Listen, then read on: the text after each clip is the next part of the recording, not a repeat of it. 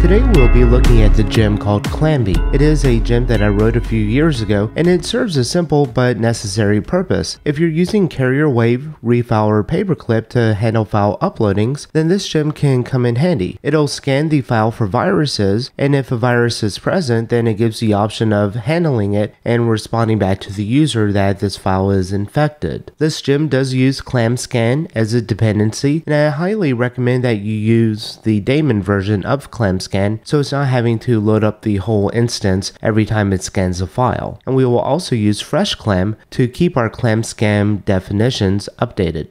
And because we are going to be using ClamScan, we do need to install this first, and you can just do that typing brew install clamav. Once that's finished, you'll need to edit the file that's located under the clamav. So I'll just copy this path and change my directory.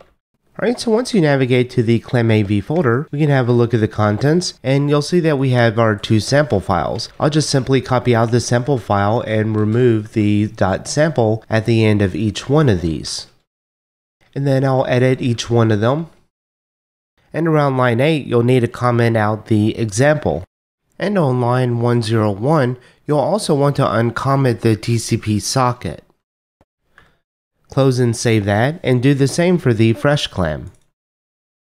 Alright, so once we've made changes to our configuration files, we can type FreshClam to update our virus definitions. And this could take a while depending on your internet speed. And then you can run clamd. And clamd will daemonize the clamscan to run as a service. Be sure you allow incoming connections to clamd. So in this example, we will be using carrier wave. However, Clamby will work with carrier wave, or paperclip because we're adding the checks for the virus scans in the model callbacks, so it should be fairly agnostic of your uploader. So to get started, we'll add the Clamby gem into our gem file. Be sure to run bundle and restart your Rails application.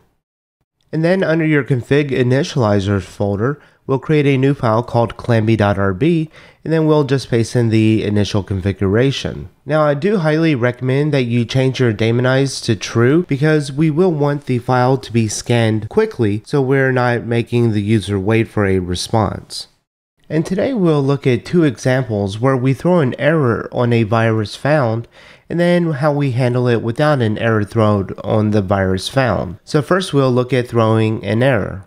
So in our application controller.rb, we'll just rescue from the exceptions virus detected and then redirect the user to the root URL, alerting them that a virus was found on the uploaded file. So our uploaded file model looks something like this, where we are mounting our uploader for file. This is carrier wave specific, but then we're doing a validate where we scan for viruses, which is just a private method, if the file has changed. So if the attribute that we are wanting to run a virus scan on has changed, then we will want to scan it for the virus. So you may need to change the path for this method, depending on how your uploader retrieves the file path. And unless if clamby.safe, which safe is a method that we have with Clamby, and we pass in the path, then we'll delete the file.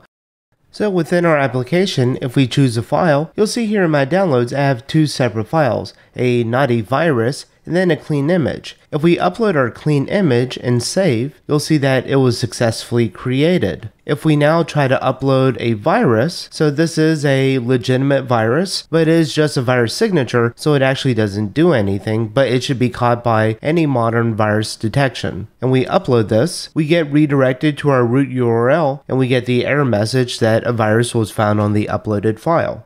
If we go back to our Clamby configuration and we change the error file virus to false, be sure to restart your Rails application so then we can test how we can gracefully handle a virus found.